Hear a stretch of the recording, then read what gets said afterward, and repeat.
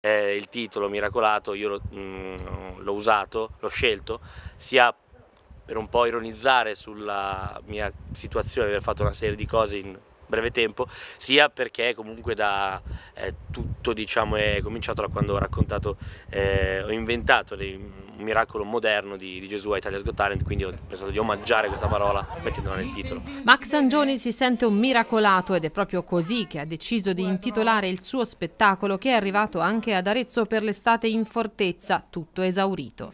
Tra i migliori comici emergenti italiani, reduce dai successi di Italia's Got Talent, Zelig, Le Iene e LOL 2, ma mm, la cosa carina è che io a LOL ho detto, beh, adesso la prima ora di LOL me la prendo per studiare gli avversari. La prima ora, studiare con rispetto, prendo le distanze e capisco un po' che strategia, che gioco fare. Stacco, dopo 10 minuti mi ritrovo a 90 di fronte al cestone dell'immondizia con dietro il mago Forest che faceva così. Angioni va nell'umido. Wow, è partita la gara, fantastico.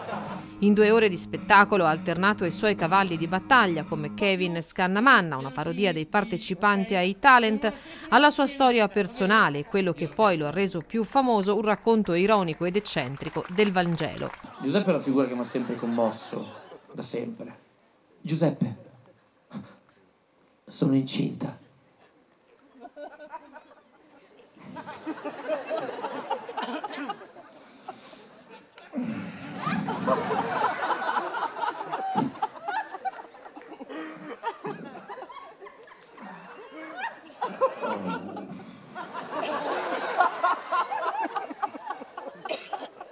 È stato lo Spirito Santo.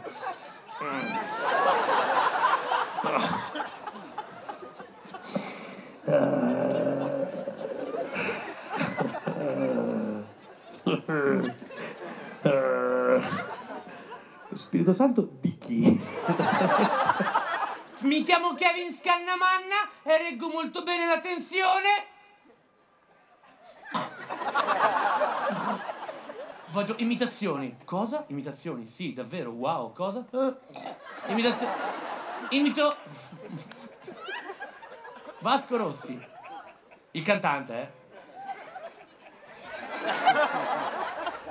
Imitazioni Vasco Rossi. 3, 2, 1, Vasco Rossi. Arietta. Vasco, 3, 2, 1, Vasco Rossi. Sulla voce devo ancora lavorarci.